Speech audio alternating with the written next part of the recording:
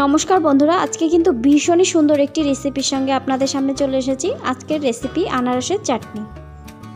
এই রেসিপিটা পার্সোনালি আমার ভীষণই পছন্দের রেসিপি তো আশা করি আপনাদেরও ভীষণ ভালো লাগবে। তো দেখতে থাকুন আমার সঙ্গে।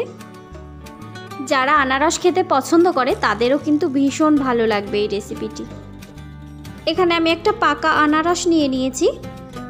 তো এবার আনারসটাকে খুব ভালোভাবে কেটে নেব। আশা করি আনারস সবাই কাটতে পারে, তার জন্য আমি কাটাটা দেখাচ্ছি না।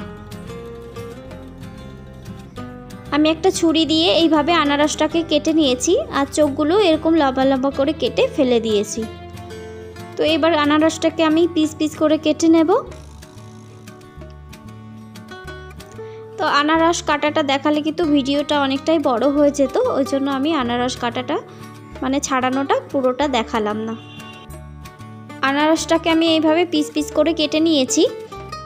এবার একটা গেটারের সাহায্যে আনারসটাকে গ্রেট করে নেব। আপনারা চাইলে একটা ছুরি দিয়েও কিন্তু টুকরো টুকরো করে কেটে নিতে পারেন, সেটাও খুব ভালো হয়।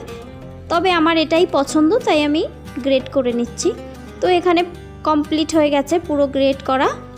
এবার চলুন মূল রান্নায় চলে যাওয়া যাক। এখানে আমি একটা কড়াই বসিয়ে নিয়েছি। কড়াইয়ের মধ্যে এক চামচ তেল দিয়ে দিচ্ছি সর্ষের তেল। আর এর মধ্যে দিয়ে দিচ্ছি হাফ চামচের কম পাঁচ ফোড়ন।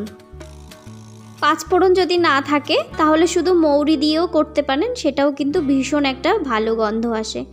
তো এখানে আমি গ্রেট করা পাইনঅ্যাপেলটা দিয়ে দিচ্ছি। গ্যাসের ফ্লেমটা মিডিয়ামে রেখে পাঁচ মিনিট মতন একটু জাল করে নেব। তাহলে এই যে আনারসের যে রসটা আছে, এটা কিন্তু অনেকটাই শুকিয়ে আসবে। তো আনারসটা জাল হতে থাক, দেখে নেওয়া যাক আর কি কি উপকরণ লাগবে। যেহেতু আনারসটা ভীষণই মিষ্টি, সেই হিসাবে কিন্তু চিনিটা দিতে হবে। তো এখানে আমি ছোট চামচের চার চামচ মতো চিনি নিয়ে নিয়েছি।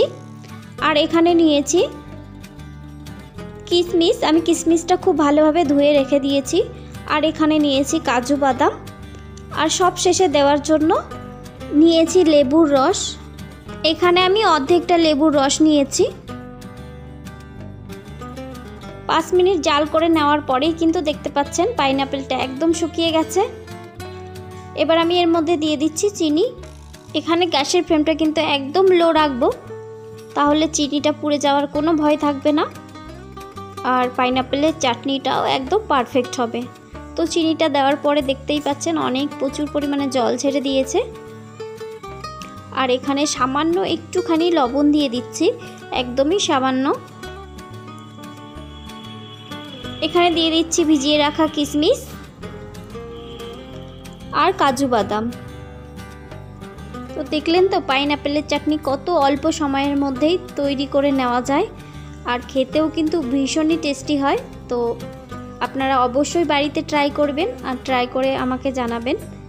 তো এবার কিন্তু আমি গ্যাসের ফ্লেমটা একদম অফ করে দেব।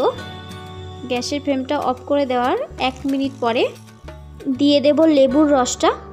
তো লেবুর রসটা দেওয়ার পরে কিন্তু কোনো রকম আর জাল দেওয়া যাবে না, তাহলে কিন্তু চাটনিটা তিতো হয়ে যাবে।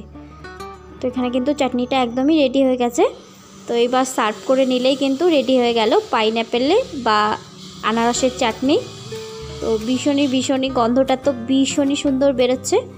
তো আশা করি আপনাদের ভীষণই ভালো লেগেছে। তো এরকম আরও অনেক ভিডিও পাওয়ার জন্য আমার চ্যানেলটা সাবস্ক্রাইব করে রাখুন আর বেল আইকনে অল ক্লিক করে রাখুন।